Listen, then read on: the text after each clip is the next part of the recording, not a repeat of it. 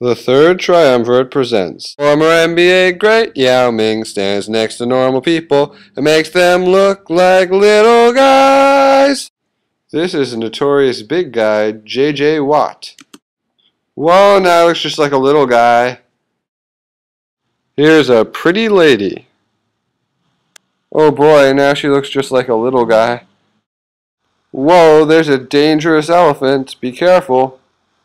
Oh no, it's okay. He just looks like a little guy now. Oh, there's superstar fighter Jet Li. Be careful.